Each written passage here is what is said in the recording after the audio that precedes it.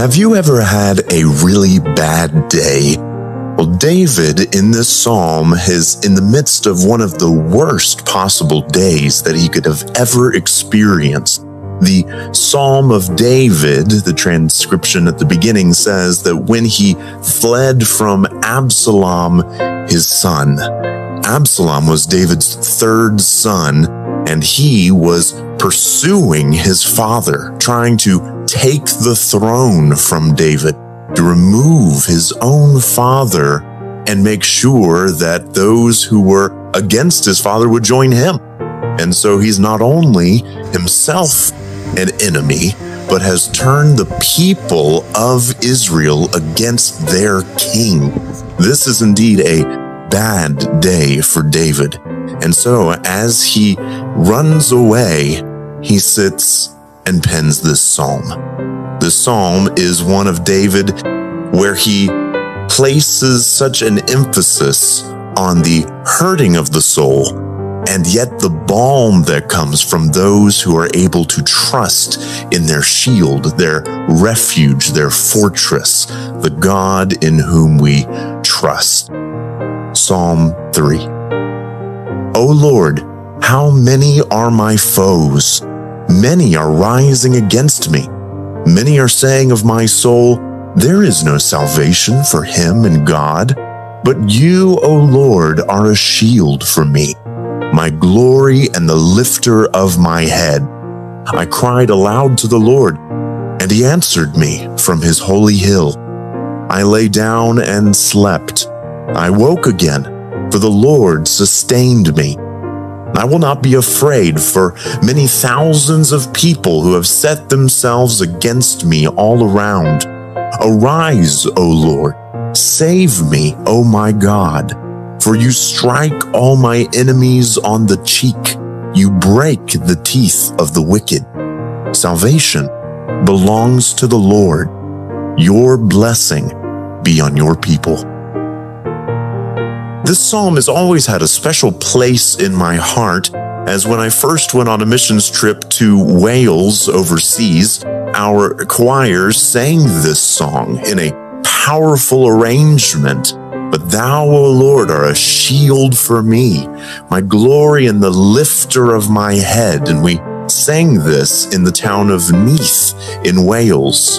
Saint David is the patron saint of Wales, and so all around we have inscribed the name of David and appropriately singing his psalm, thinking about the power and the glory that is there for those who surrender to God who put their faith and their trust in Him. The first lie that we see from this psalm is that God does not know, that He doesn't care, and that He certainly doesn't act. These lies always come from those who are against God and they're delivered to David. These are lies of the enemy. They say probably the most painful thing they could say to David, which is that there is no salvation for him in God. In other words, there's no hope. David, there's nothing that you can do. The kingdom is taken from you. Everything is gone. He's not sitting in opulence and penning this psalm with just lots of comfort around him. Instead, he's on the run as he was through many parts of his life, but this time his own son. But David responds with absolute faith in God. He says, But you, O Lord, are a shield about me. It means to encompass him in protection, to know that no matter what enemy comes against him, no matter what lies he has to confront, these overwhelming struggles are not uncommon for the people of God. It's the first thing that we see in this psalm that this is not something that is foreign to those who even follow God. They will have to face overwhelming struggles. It is not the case that David argues for a elimination of struggle, but that the Lord would be with him through the struggle.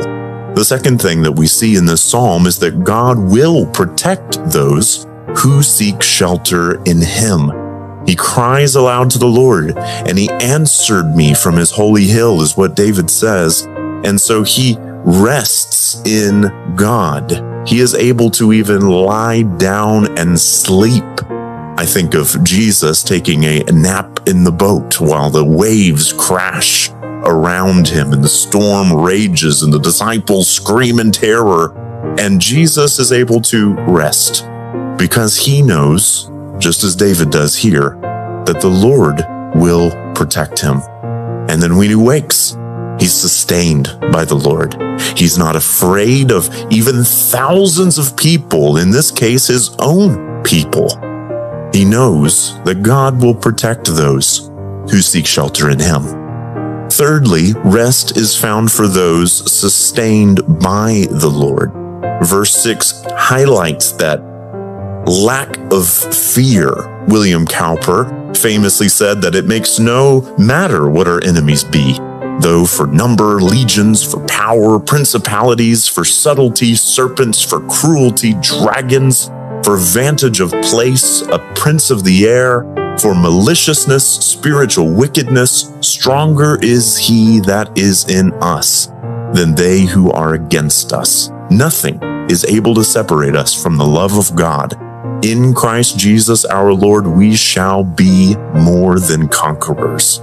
With Cowper, I heartily commend that look at the Psalms that we see this as God's rescue not just for David, but also for Jesus Christ, who in Hebrews we're reminded of the him putting his faith in the deliverer, and that Jesus is our all sufficient high priest, and he also was tempted with the same kind of struggles, the same kind of lies, and yet he stood and reminded himself of the promises of God, and that God will save the righteous but he will also judge the wicked.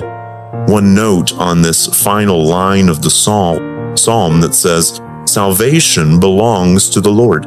Your blessing be on your people. Well, that is wonderful, and that is the hope that we have as believers, especially in Jesus. We look for that hope, but we must not neglect the breaking of the teeth of the wicked. Well, how can that be said when we are supposed to bring blessing? even against our enemies. Well, I think that Godfrey, he writes well on this and says that we must remember that the imprecations of the Psalter are not prayers that we selfishly direct against our personal enemies, but are the prayers of Christ and the church against the intransigent and unrepentant enemies of God. We should certainly pray first for their conversions, he says. But for those who refuse to submit to God, Judgment is surely coming. Vengeance is mine, I will repay, says the Lord, Romans 12 19. That's a good reminder for us because as we pray, even imprecatory psalms, we are praying that God would break down the pride in the human heart, that He would bring repentance and faith even to our enemies. And the greatest enemies that we face are the world, the flesh, and the devil. May God give us that assurance that we can trust Him as our shield, no matter what we face, and that we can do it in the strength of our shepherd. Lord, we thank you that you are our shield, that there is no salvation for anyone apart from you. It is only in you that you give us hope that you are our shield, our glory, the lifter of our head. Father, may you give us strength as we cry aloud to you. Lord, as we encounter the most difficult and dangerous foes of our world, we are able to lay down and sleep, that we are able to take comfort knowing that you are good, that you sustain us, and that you will save us. Lord, may we rest in your salvation, and may the blessing of the Lord be on us as we seek to be the righteous and run from wickedness. We praise you for this in Jesus' name.